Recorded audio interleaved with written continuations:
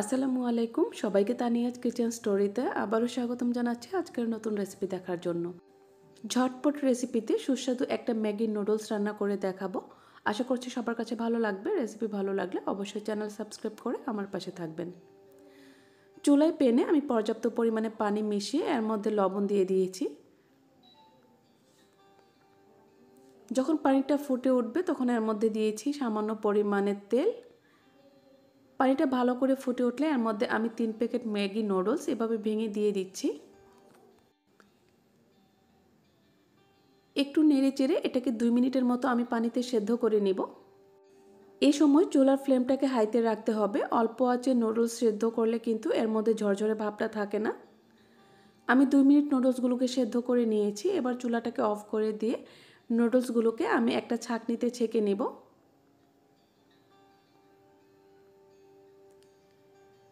এবার ওই একই পেনে আমি দুই টেবিল চামচ পরিমাণ রান্নার তেল দিয়ে এর মধ্যে সামান্য লবণ দিয়ে দিচ্ছি। তেলটা গরম হয়ে আসলে এর মধ্যে আমি দুইটা ডিম ভেঙে দিয়ে দিচ্ছি। যদি ডিমগুলো সাইজে ছোট হয় তাহলে সেক্ষেত্রে তিনটা ডিমও আপনারা ইউজ করতে পারেন। ডিমগুলোকে আমি এভাবে ভেঙে ভেজে নিব। ডিমগুলো ভাজা হয়ে গেছে, এখন এগুলোকে আমি উঠিয়ে নিব।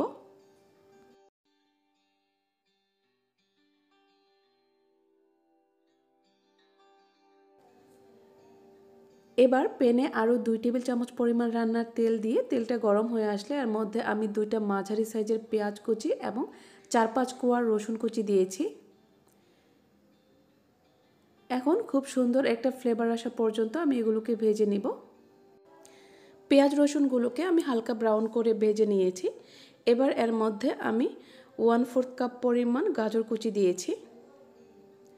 গাজরগুলোকে আমি এক মিনিটের মতো হাই ফ্লেমে বেজে নিয়েছি। এবার এর মধ্যে দিয়ে দিচ্ছি কাঁচামরিচ।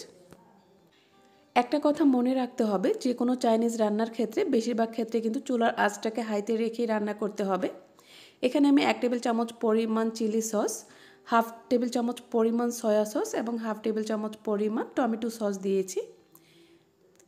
এক মিনিটের মতো ভেজে নিয়ে এবার এর মধ্যে আমি দিয়ে দিচ্ছি দুই প্যাকেট ম্যাগি মশলা।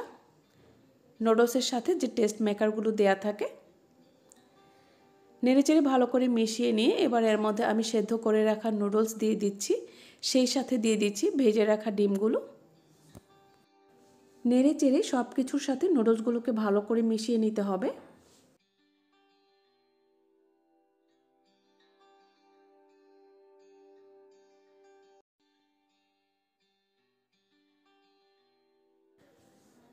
আরও এক প্যাকেট নুডলসের মশলা আমি এ পর্যায়ে দিয়ে দিচ্ছি। এখানে আমি তিন প্যাকেট নুডলসের সাথে তিন প্যাকেট মশলা ব্যবহার করছি।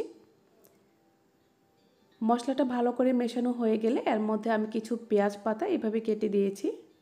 একদম লাস্ট পর্যায়ে পেঁয়াজ পাতাটা মেশাতে হবে। আরও এক মিনিটের মতো নেড়েচেড়ে ভালো করে মিশিয়ে নিয়ে আমি কুক করে নিয়েছি। এবার চুলাটা আমি অফ করে দিব। আর দেখতেই পাচ্ছেন নুডলসগুলো কিন্তু একদম ঝরঝরে আছে। সকাল বা বিকেলের নাস্তায় কিংবা বাচ্চাদের টিফিনে ঝটপট এই রেসিপিতে নুডলস রান্না করে দিতে পারেন এভাবে। রেসিপি যদি ভালো লেগে থাকে, তাহলে অবশ্যই ভিডিওটিতে লাইক এবং কমেন্ট করে দিবেন আর আপনার ফ্রেন্ডস এবং ফ্যামিলির সাথে শেয়ার করবেন। সাথে থাকার জন্য সবাইকে অনেক অনেক ধন্যবাদ। আল্লাহ হাফেজ।